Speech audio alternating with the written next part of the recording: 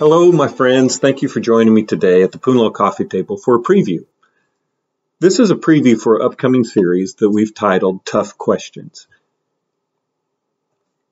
Even if you've been a Christian for a long time, I bet there are some things in the Bible or in the traditions of the church that you don't understand.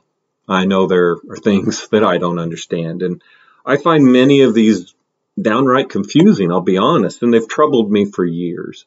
So in this series, we're going to ask those tough questions. And then I'm going to dig in and research these and see what we can find. See if we can develop a better understanding of these tough questions. And if you have some tough questions, please send them to me.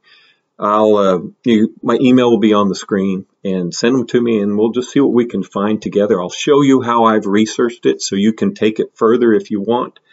And I hope we can find some answers together. So I hope you will join me for this series we've called Tough Questions as we ask those questions that so many Christians ask and try to figure out why. Let's pray.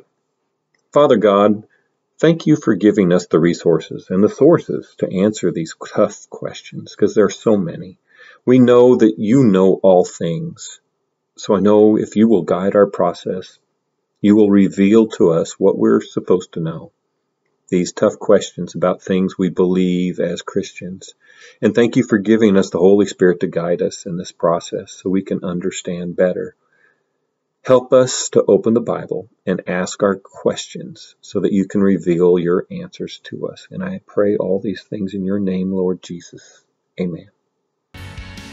So, trust God in everything and He will give you peace. I think that's got to be the core of our conversations. And I want to thank you for joining me today for this preview at the PUNLA Coffee Table about tough questions.